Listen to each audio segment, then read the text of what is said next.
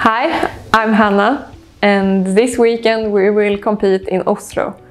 Oslo is a special place. I think it's a little bit of a legendary place uh, to ski at and uh, uh, to be a, a Swede competing in Norway it's pretty special, but I still think we have really good support from the from the audience and the track is really hard. A lot of uphills, downhills, corners. Uh, you you have to work with the skiing in in different parts.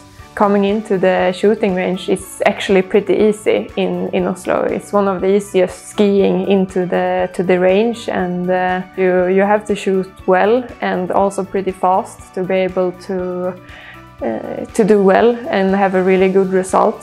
So I really hope that you will uh, look when we compete this, this weekend and uh, cheer for us.